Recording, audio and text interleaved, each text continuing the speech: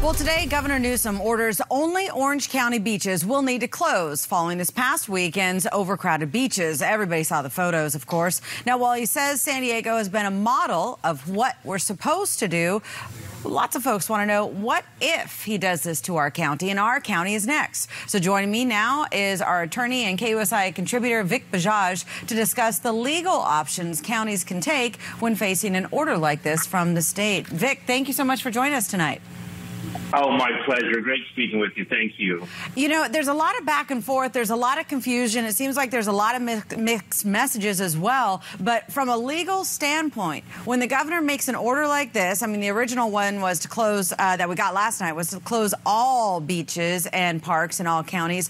What recourse do local uh, city officials or even residents have at that point? Well, the, the, best recourse, the one that will bear the most fruit, would be a visit to the federal court. And we've seen lawsuits in the Central District of California waged on behalf of many small business owners that have now been put out of business because they don't fall within the essential businesses category. We've seen those lawsuits in federal court as late and recent as this week being filed uh, with the court to say, hey, Governor, you just can't issue an order this broad without some specific justification. Now, if we look at what they have in their pocket, the plaintiffs in that case, they have a very strong Fifth Amendment claim that the government is taking property, ability to earn, i.e., money. So that's a stronger case than a case where plaintiffs may say, well, our liberties are being constrained. Stronger in the sense of having a federal court grant a preliminary injunction, which says, boy, there's irreparable harm, this harm that cannot be reversed. So we're going to step in right now and stop the governor's actions and laws from going into effect.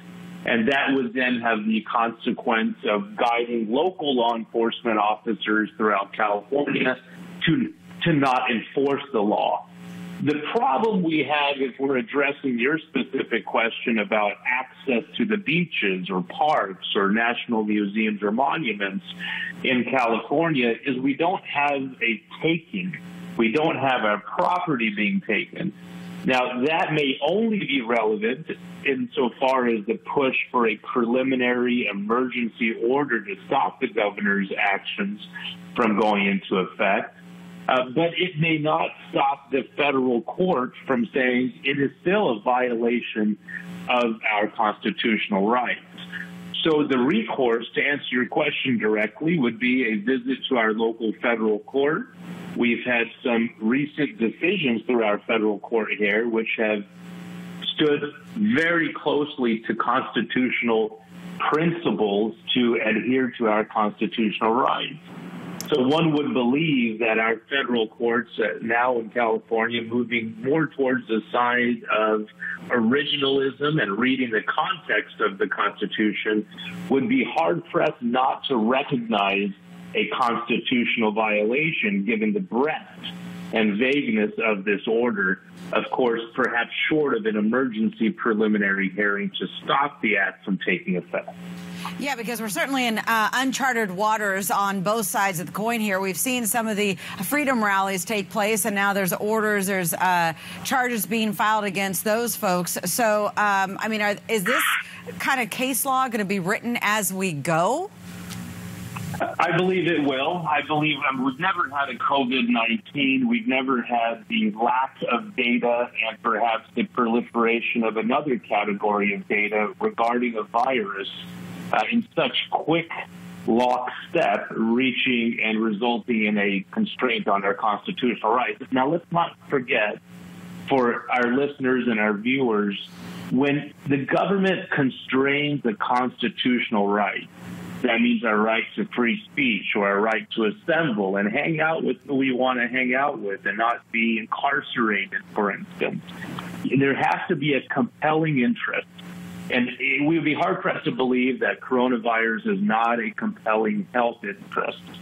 But the most important additional requirement, Ginger, is that you have to have a narrow tailoring of the restriction So a federal court would be presented with the duty to say, I understand there's a compelling right to ensure the safety and health of our citizens of California. But is the governor's vague and very uh, overdressed or overbroad law adequately narrowly tailored to address the issue?